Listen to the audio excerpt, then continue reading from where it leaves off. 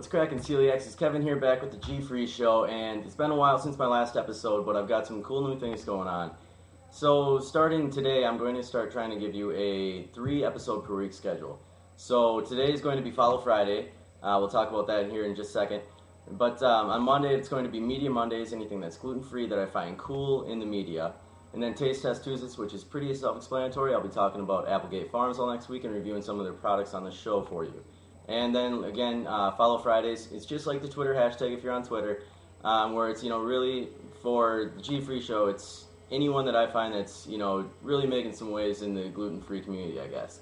So that brings me to uh, the celiac kicker, Craig Pinto, 11 year celiac veteran and uh, founder of the Kicking for Celiac Foundation.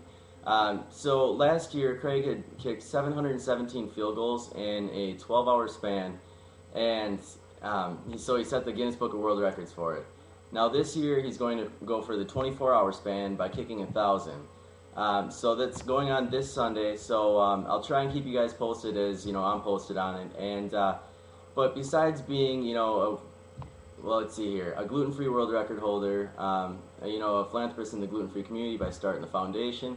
Um, he's also taken the Kicking for Celiac Foundation in yet another direction by starting Cleats for Kids in Portugal um, where really you just take any donations for old soccer cleats, football cleats, you know, whatever really works, um, you know, to give kids to, you know, be able to wear, which I think is awesome. Um, but anyway, I really do need to keep this short because I'm heading down to Milwaukee today. Uh, game five against the Diamondbacks. Just found out last night. It's crazy. But um, make sure to follow Craig on Twitter. He's got a lot of cool things going on. He's you know always doing good things for the community, and he is all over the place. Uh, you'll see. But uh, anyway, follow him on Twitter at Celiac Kicker and then also follow the foundation at Kicking for Celiac.